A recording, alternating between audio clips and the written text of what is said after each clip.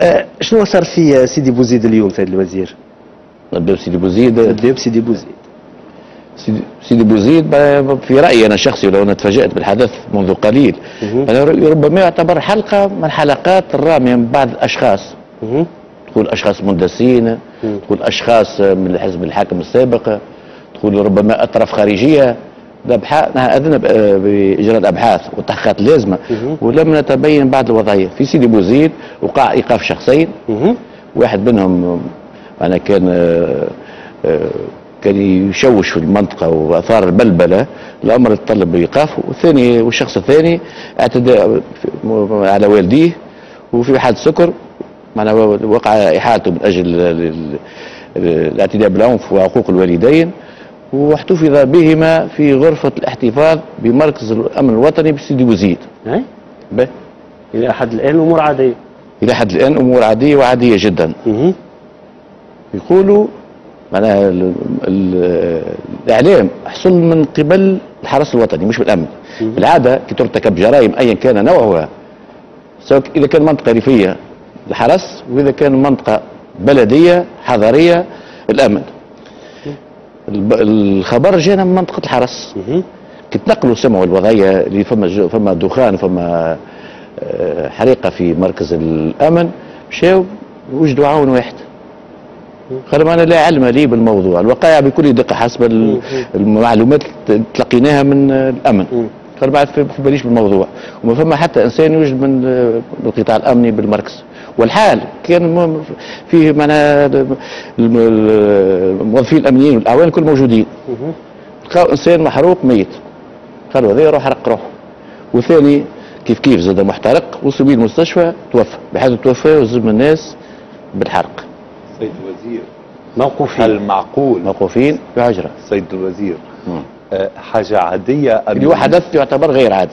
لا لا. معناها ال ال كيفاش خلقنا للم لل للحدث هذا الغير عادي. معقول أنه موقوفين يكون عندهم آه، آه، ال matériel nécessaire que ce soit وقيده ولا كذا اللي باش يحرقوا بها أرواحهم. السؤال اثرته انت اثرته أنا شخصيا لا يعقل بأي حال من الأحوال أن أنا إنسان يكون عنده كما يقولوا الواحد القيده وال essence ولا ما نعرفش باش تمت العملية في حجر إيقاف خاصة من حجرات إيقاف؟ خاصة في المحاكم في المراكز. عادة. بالتالي فما إمكانية بتاع تهوية كبيرة وفما إمكانية بتاع خروج دخان دون الوصول إلى معناها حد يكون كربونيزي. طبعا بالنسبة لي أنا معناها فما العديد من نقاط الاستفهام الكبيرة أي هو لكن هالحرق مسؤوليتها عمليه الحرق هذه ترى عملية الحرق هذه يا سيد الوزير كانت من باب من باب الاحتجاج معناها ولا ما زالت ال- التحقيقات لا مفتوحة؟ علاقة هذه عملية الحراق بالاحتجاج هاي. ما أنا- لا إلى حد الآن كنت ما عنديش معلومات دقيقة. أما عملية معناها الإجراء الجريمة هذه اللي وقعت ربما موجهة للنظام ربما. بالنسبة لي أنا بحسب مقاربتي الشخصية مم. الجريمة هذه ما تكون كان في إطار عملية. نحن- أنا في الحصة الأخرى في قناة حنابعل قلنا راهو فما مؤامرة مدبرة موجودة. لم نصل بعد إلى حد الكشف عن خيوطها. ربما في إطار هذا التمشي. ممكن تكون محبوكة العملية. ربما حتى الأعوان الموجودين وارد ربما موات... ربما يكونوا مواطنين مدسين ولا أطراف خارجية ولا داخلية. ربما حتى لبس لباس الأعوان. وقامت بالعملية. تقول لي لماذا؟ نقول لك لبث البلبلة والهلاع والفوضى. الأمر الذي يتطلب من المواطنين التونسيين وهذه غايته صاب- ويحبوا الشفافيه الاعلام أي. هذه صحيحة موجودة. تبقى المواطن التونسي être vigilants راهو ربما تكون الأمور خطيرة ياسر لو كان مش في الاطار الامني، الاطار الامني فما برشا إشكاليات، المواطن التونسي يتحمل المسؤولية ويكون في مستوى الحدث لتطويق هذه العمليات اللي هي الغاية الأساسية بتاعها quelques circonstances تخريبية معناها وغايتها مش قلب النظام بث الرعب والفوضى في البلاد.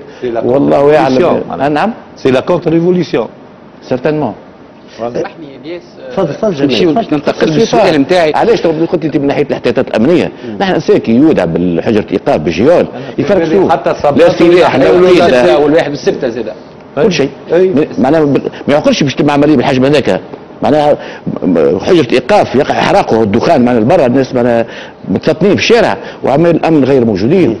والله سيد أمر- الوزير أمر غريب. سيد الوزير باش ننطلق من الحدث آه، آه، اللي صارت في سيدي بوزيد اليوم ننتظروا معناتها النتائج باش يكشف عليه التحقيق.